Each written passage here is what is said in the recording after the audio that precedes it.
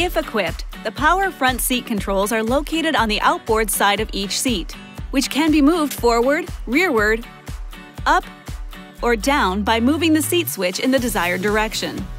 To tilt the front of the seat cushion up or down, pull or push the front of the seat switch in the desired direction.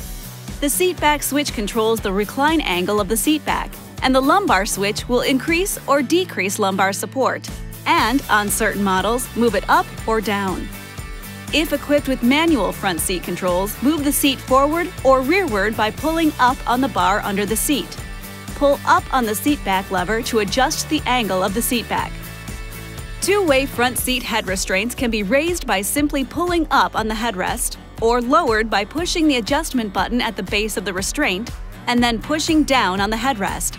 If equipped with four-way head restraints, adjust the headrest forward by pulling the top toward the front of the vehicle as desired and release. To adjust it rearward, pull it to the frontmost position and release. This will reset it to the rearmost position. If your vehicle is equipped with reclining rear seats, they can be adjusted in one of two ways, depending on the model. For slide reclining rear seats, the recliner handle is located on the front of the outboard seat cushions. To adjust the seat back, lift up on the handle, slide the seat bottom forward, and then release the handle. For normal reclining rear seats, the recliner handle is located on the outside of the seat cushion.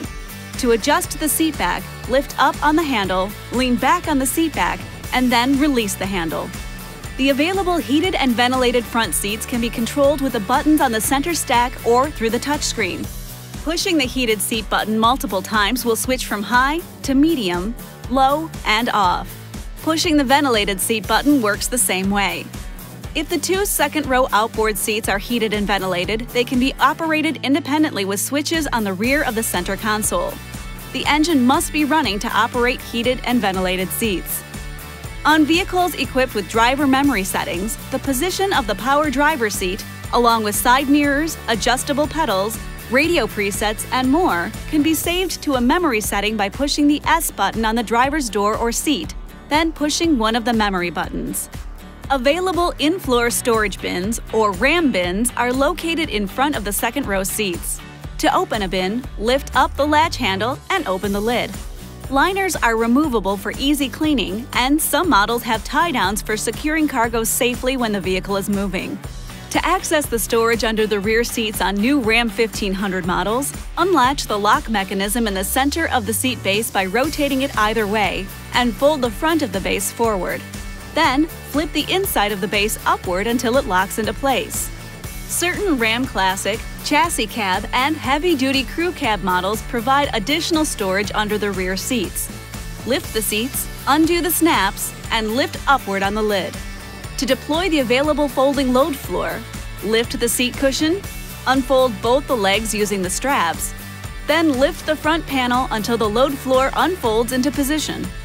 And if your vehicle has a fold flat second row, it may also be equipped with storage bins behind the rear seats the easiest access to these bins is with the seats folded flat. This video is not intended to take the place of your owner's manual. For complete details and other important safety information, please see your owner's information.